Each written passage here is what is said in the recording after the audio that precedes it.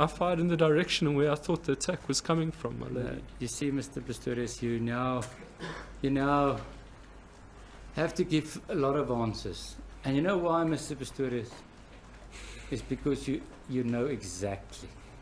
You fired at Reeva. These other versions of yours cannot not work. true, you fired at her. You did. Why are you getting emotional now?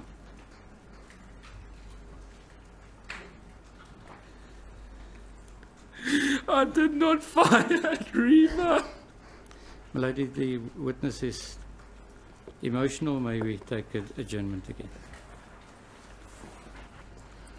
Court will adjourn.